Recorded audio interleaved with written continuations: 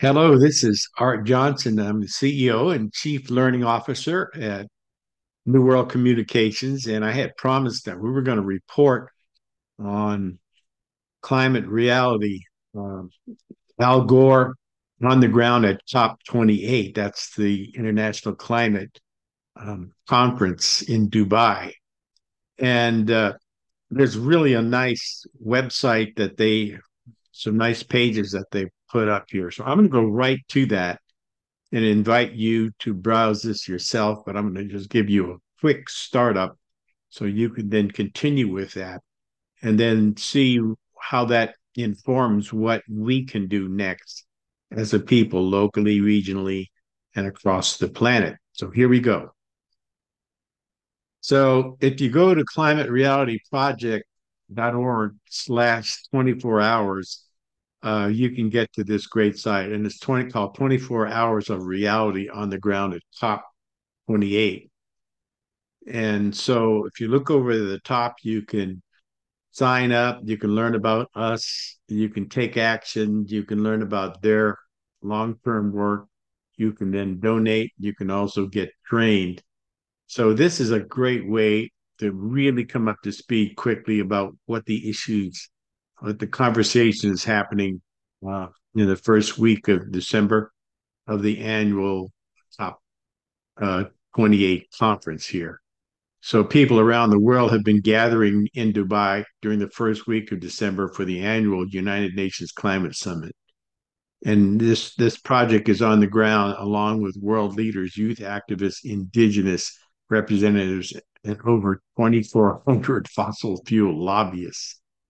Um, and so they set out to peel back the curtain on this key gathering, bringing stories, conversations, and events from Dubai and I'm going to go ahead and play this briefly here because it's it's a really good conversation that he has, and I think it's going to come up to speed uh, quickly. And then after that, I would just invite you to uh, follow up by watching, clicking through some of these uh, this content, and it's real short and sweet. So here we go. Hi, I'm Al Gore with the Climate Reality Project, and this is 24 hours of reality on the ground here at COP28. The old cliche is good news and bad news, uh, and I guess the good news is there were some positive developments on the first day of the COP with the quick and formal establishment of the Loss and Damage Fund. That's something that's been needed for a long time, and some people worried that was going to be the subject of a, a divisive debate throughout the negotiations, but that was established. On the other hand, there's been fair criticism of the meager pledges made to put money into that fund. Uh, they're very insufficient, uh, not even close to what is needed. It's good to have the fund, to have some pledges, but to put it in context, the total amount of money pledged by all the countries who said they'll put money into the loss and damage fund amounts to about 49 minutes worth of the annual fossil fuel subsidies. Uh, even if you only look at the direct taxpayer subsidies to fossil fuels, it still only amounts to about four and a half hours worth of the annual yearly subsidies for fossil fuels. So, you know, it's just, uh, it's kind of a, I won't say it's a distraction, but it's something that we should understand and put in context it's a good thing uh, if they follow through, but it's not sufficient in any way, not even close. And uh, there's also, from the very start of this uh, COP28, uh, uh, all through to when we get to the final day, there is this clear conflict of interest that exists because the CEO of one of the largest and least responsible oil and gas companies in the world was named the president of this COP. Uh, and it, that's a conflict of interest because the president of the COP is supposed to focus on every possible way to get the world to reduce the, the emissions from burning fossil fuels. And yet, his day job, which is way more important to him than uh, uh, the, the position as president of the COP, has him obligated uh, to promote more fossil fuels. And we just learned that his staff has been feeding him memos for the meetings he has around the world with leaders about the COP28 uh, and encouraging him to ask questions about how they can buy more oil and gas from the company that he heads. And the investigative journalists that uncovered this with help from whistleblowers inside that company have confirmed, they say, that in at least some of those meetings, he actually did use the occasion set up to talk about COP28 as an opportunity to sell more fossil fuels. And we've learned also that this company, ADNOC, Abu Dhabi National Oil Company, has a massive plan to expand its production of oil and gas starting immediately after the end uh, of the of COP28. You know, it's just like uh, that's outrageous. I, I think. Now, um, another bit of positive news uh, in these early days uh, is that 51 of the world's oil companies publicly signed up to the so-called uh, oil and gas decarbonization charter, pledging to cut their methane emissions by 2030.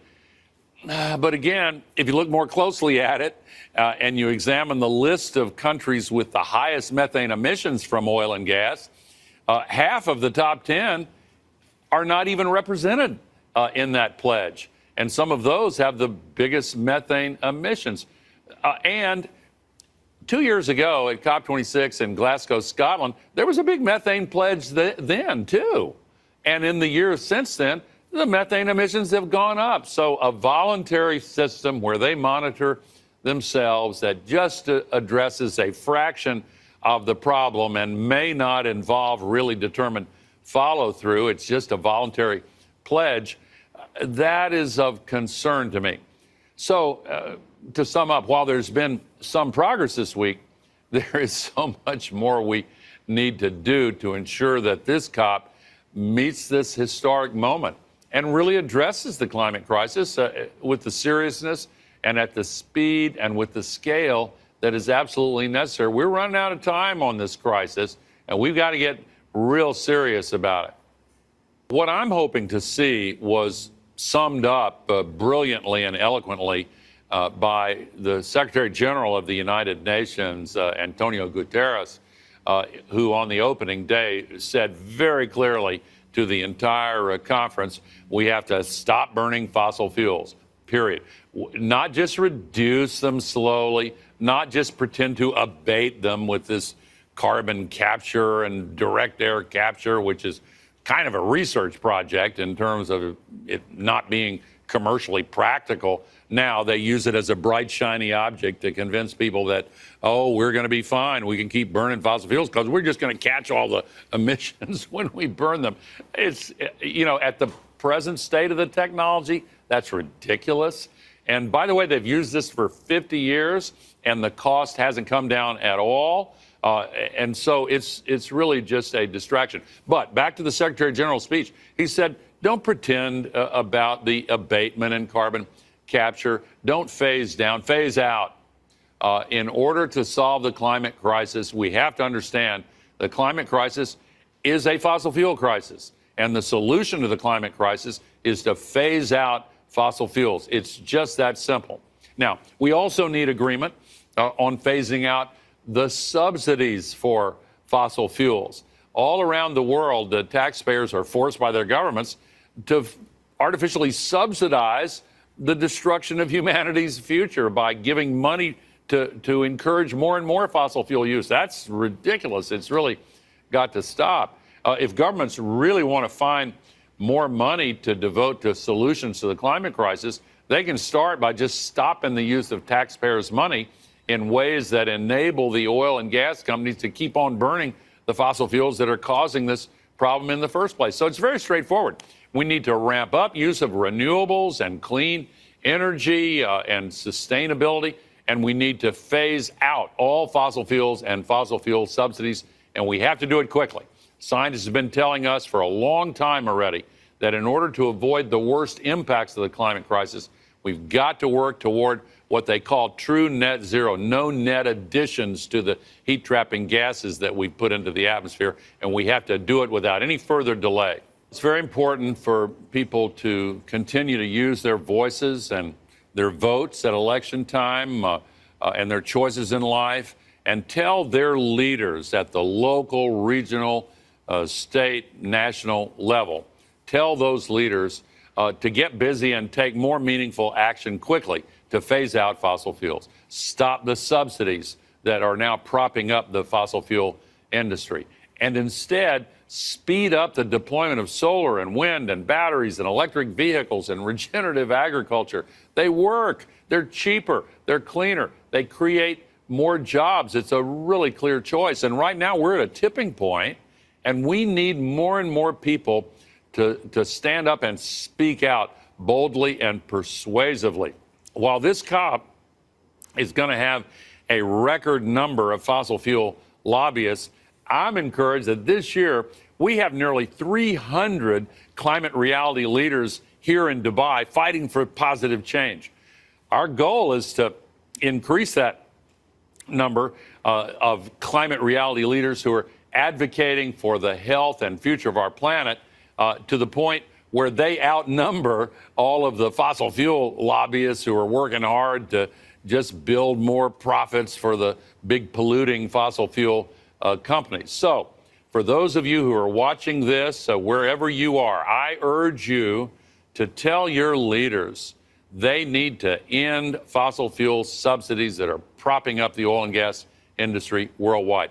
You can take action by clicking on the link on the screen here today, and we'll connect you uh, to how you can take meaningful action. And finally, in conclusion, let me say this if you ever doubt that we as human beings have the political will to do this, never forget that political will is itself a renewable resource. Thank you. Wow. I'll stop this share. Um, this is really, really good. And he's doing very, very important work. If you've never seen an inconvenient truth that he did way years ago, that started this whole thing. And the Climate Reality Hub is amazing. And there's some buttons that you can click on for taking action. And the action really has to do with what you can do beginning right in your own hometown and all of that. So I'm really looking forward to that. If you need to talk to me about the action that we're taking, and uh, we're building a whole climate action consortium of really skilled people, particularly those people who see climate action as a climate action opportunity um, that we can see. I mean, there are a number of companies, number of jobs, number of new climate careers that need to be developed and uh, and promoted for young people and people of all ages can have a role in this. I'm a boomer, but I see a real positive role in a supportive way to support generations to come. That's what I'm caring about is, hey, listen, I want to leave this world in in in better shape than what I'm seeing right now. And that can happen from this transformation. So if you need more information, you can call me or text me at 206 uh, 920 8067 or you can email me at support at newworldcom.com. You can visit my website at newworldcom.com and take a look at my e learning services. I have a whole suite of services that I'm committing 100% to taking uh, climate action through our mobilization campaign services, whole suite of applications. We've been actually produ- producing information on um, on CEO corporate responsibility. Uh, there, you know, the, some of the major polluters are companies that have huge carbon footprints and have other issues that they're not connecting with taking climate action that can actually keep more employees there, you know, and and work ways. We're really front runners with what we call virtual architecture and virtual transportation to do virtual architecture that is near zero carbon footprint is ultra affordable and ultra eco-friendly. So look for more content coming from us on that. So anyway, we look forward to working with you. We can do this, but we need to do it right here and right now. Thank you so much.